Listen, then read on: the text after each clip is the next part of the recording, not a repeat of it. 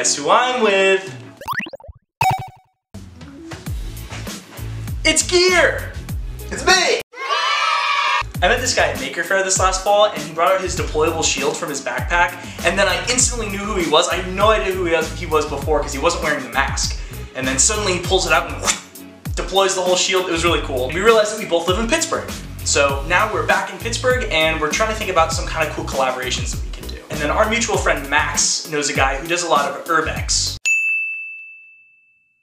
So we want to build some kind of thing that can help you in general with going to do urbex. So maybe detecting whether or not there's like hazardous gas in a certain location. So Gear gets this really cool thing called a HackerBox and it's pretty much this subscription service that will just send you a bunch of like cool sensors. So this one's all about electrochemistry. What's this? Yeah, this is the alcohol sensor so you can make like a tiny little breathalyzer. Oh, that looks like humidity. Overall, all these little sensors you can use to build a project. And it even comes with a tiny little LED display so that we can read out all the data.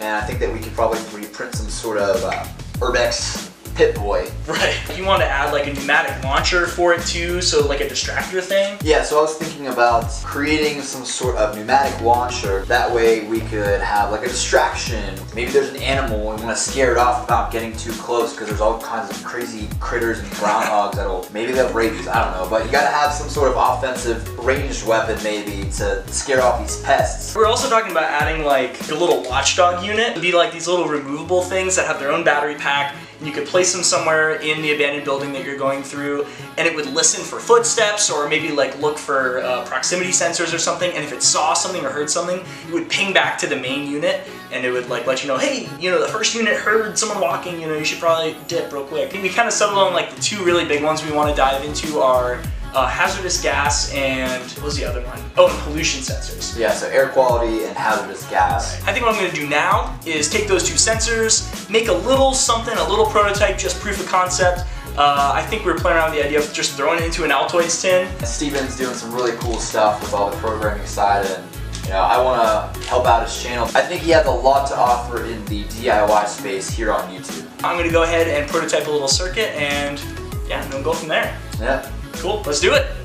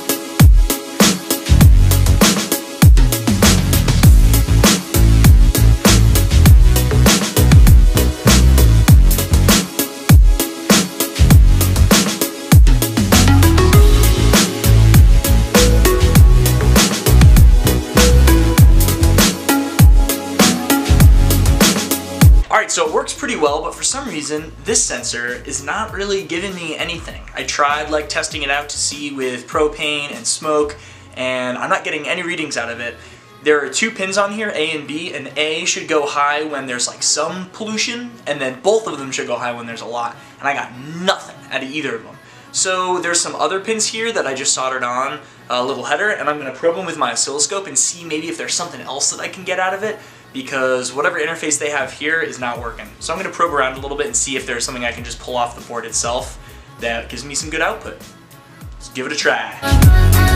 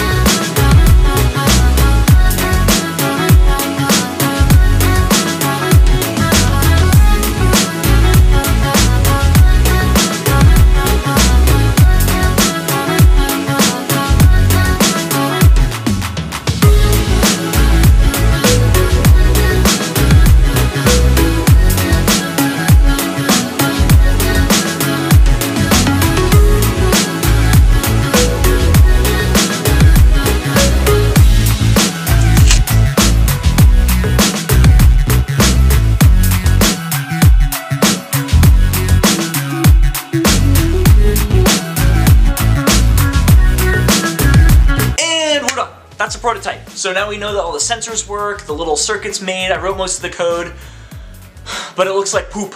So in the next one, I'm gonna work with Gear and his friend who's an industrial designer to make it look awesome. We're gonna make it like all these lights and screens and buttons and like jacks for stuff to plug into it and it's gonna be so cool. So that's coming up in the next one. Thank you so much for watching. Hit subscribe if you wanna stay up to date with this project and I'll see you in the next one when we make this thing actually look sick.